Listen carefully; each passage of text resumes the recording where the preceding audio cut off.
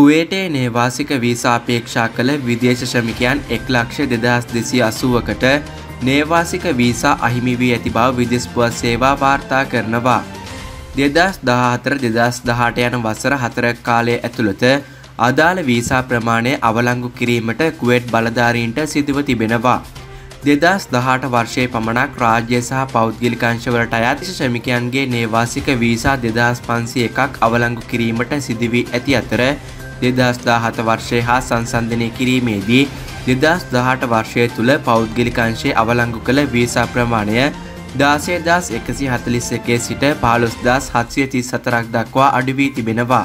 දැනට කුවේටේ තුළ නේවාසික වීසා ලබා සිටින විදේශමිකයන් සංඛ්‍යාව පහළොස් ලක්ෂ තිස්සෙක් දාහක් වන අතර එහිදී ආසියාතිකයන් නම ලක්ෂ පනස් හද්දාහකුත් පන්ලක්ෂ හතලිස් නමදාහක් අරාභි ජාතිකයන් වන අතර ඉතිරි ශ්‍රමිකයන් ඕස්ට්‍රේලියාව අප්‍රිකානු සහ පැසිෆික් රටවල්ලනින් පැමිණි අය බවත් එම පුවත්පත් නිවේදනයේ සඳහන් වනවා.